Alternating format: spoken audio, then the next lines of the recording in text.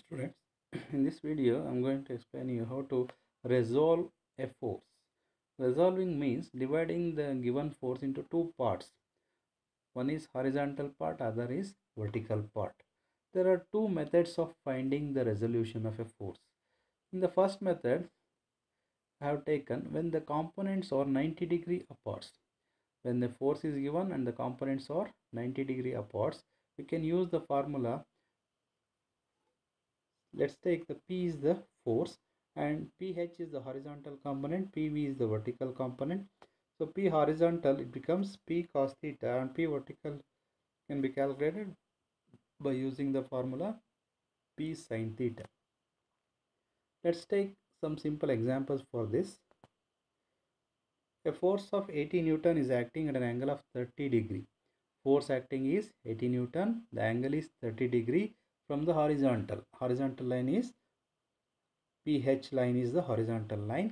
Find the vertical and horizontal components. As we know the formula we are having ph horizontal component equals 80 into cos 30 degree. We have the formula ph is equal to p cos theta p is 80 and cos theta is 30 degree.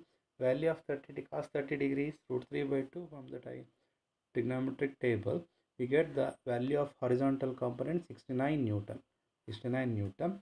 Similarly vertical component equals p into sin theta. P is 80 and sin theta is 30 degree. Sin 30 is half by the table. Then we get p vertical that is vertical component of the force is 40 newton. So in this way we can split a force into two components. One is vertical and another is horizontal. This is the method when the forces are upward by an angle of 90 degree.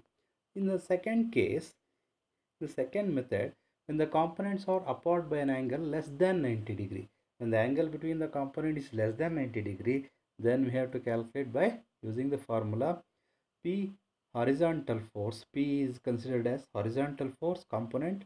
P is equal to R sine beta divided by sine alpha plus beta. So alpha is the angle between the force and horizontal component beta is the angle between force and vertical component. Using the formula we can find the horizontal component p is equal to r sine beta divided by sine alpha plus beta and vertical component q is equal to r sine alpha divided by sine alphabet plus beta. Let's take some simple examples calculate the horizontal and vertical component of the force in the following diagram Observe the diagram. The force is 100 Newton and the angle between horizontal and force is 30 degree and the angle between vertical and force beta is 45 degree. Just use the formula.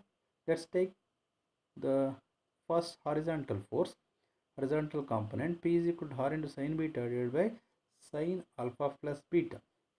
So r value is 100 into sine beta value is 45 degree divided by sine beta alpha plus beta it becomes 75 degree. So just substituting the value of sine 45 that is 1 by root 2 we will get 100 by root 2 and sine 75 degree we will get 0 0.97 from the trigonometric uh, map or can use the calculator.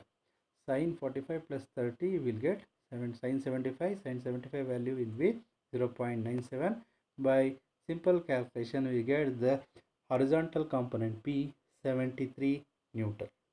Similarly, we can find the vertical component Q is equal to R sine alpha divided by sine alpha plus beta. So as usual, we know value of R is 100 and sine 30, alpha value is 30, sine 30 degree is 1 by 2, 100 by 2 is 50, sine 75 is 0 0.797. By dividing 50 divided by 0 0.97, we will get 51.54 Newton. Hence, we can calculate it the horizontal component P and vertical component Q of the force 100 Newton. So in this way we can resolve the forces. Resolving means dividing the force into two parts. One is vertical and another is horizontal. There are two methods when resolving when the forces are apart by 90 degree and when the forces are apart by an angle less than 90 degree. We should clearly observe what is given in the problem and should proceed to calculate the components. So in this way we can solve this type of resolving the force problems. So thank you. Thanks for watching